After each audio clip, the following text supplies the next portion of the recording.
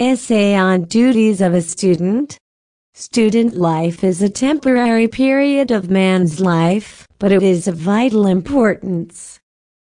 It is the time when the seed of future prosperity and happiness is to be sown. As he will sow at this stage of life, so will be reaping in his later life. Therefore, an ideal student is to cultivate all the good qualities of a man during this time in order to build a happy and prosperous life. The first duty of an ideal student is to study. Learning with an ideal student is a jealous mistress. As Mr. Haldane points out the students constitute a class by themselves great responsibilities on them his parents need not good him. He takes up his studies with all seriousness.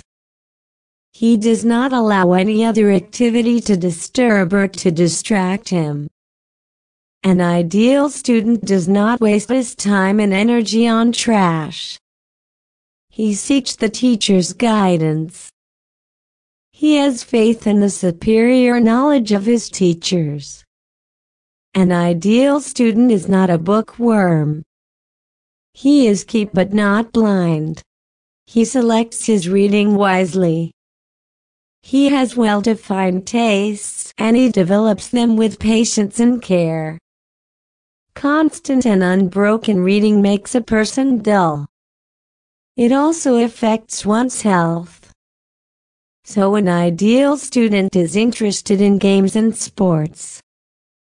He may not be an excellent player of any games, but he has enthusiasm for playing. If he cannot play he at least participates as a spectator. Besides games there are other general activities at a college. An ideal student participates in as many of these activities as possible. He picks and chooses according to his taste an intelligent interest in studies, wide but systematic reading interest in extracurricular activities, general knowledge, simplicity and grace. These are some of the most important qualities of an ideal student. Charm. Old values of life are in decline.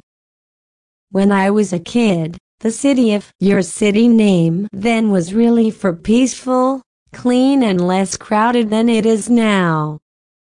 It is expanding by leaps and bounds. All around the proper city, we find suburban localities sprouting without an end. Fashionable plazas and squares have sprung up at every nook and corner of the city.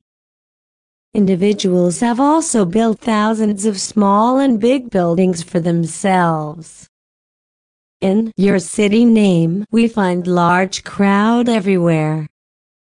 City buzzers look like colorful fairs. It would not be unfair to say that your city name has turned into a city of shopping centers. Your city name is in fact a city of problems. People face a host of problems at every step. Transport is so pressing that it affects everyone. Your city name is a cosmopolitan city. Here one may find people from all parts of your country name. The city presents a composite picture of a real your country name s culture. Many foreigners also visit this city. In short, life is your city name is fully of glamour and glamour. Subscribe my channel English Essay by Alexandra Daddario.